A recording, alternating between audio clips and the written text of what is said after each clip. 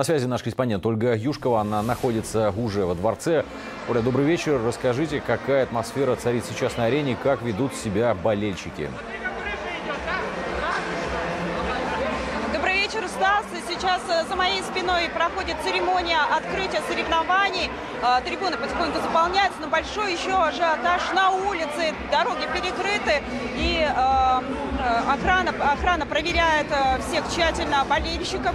Их по предварительным подсчетам 7,5 тысяч. Все билеты проданы. И на сцене был э, постелен специальный паркет, э, на котором установили портер, так создав э, дополнительные места вниманию автомобилистов, если будете планировать маршрут в сторону Мотовилихинского района, то заранее продумывайте маршрут. Стас? Ольга, спасибо. Пожелаем нашим баскетболистам на сегодняшний матч только победы.